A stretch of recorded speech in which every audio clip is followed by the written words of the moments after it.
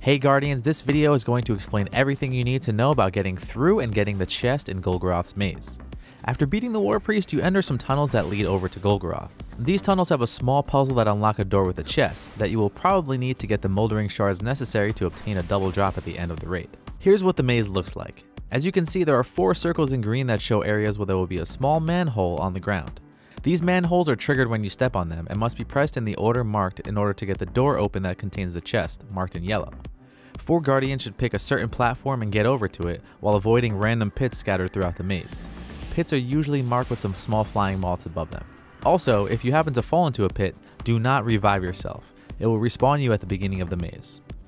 Manholes 1, 2, and 4 are pretty self-explanatory, but 3 is a little more difficult.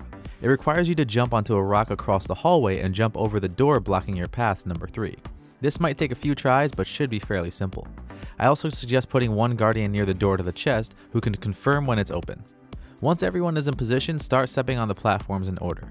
You should hear a loud sound and then it will stop. Once it stops, the next person in the sequence can jump on. If someone steps on incorrectly, the loud sound will continually keep going off. That's no good. Everyone should head over to the chest and crack it open. After you are all good, you can head to the exit and get prepared for the fight with Golgoroth. Thanks for watching everyone, and for more raid content, head on over to destinydb.com.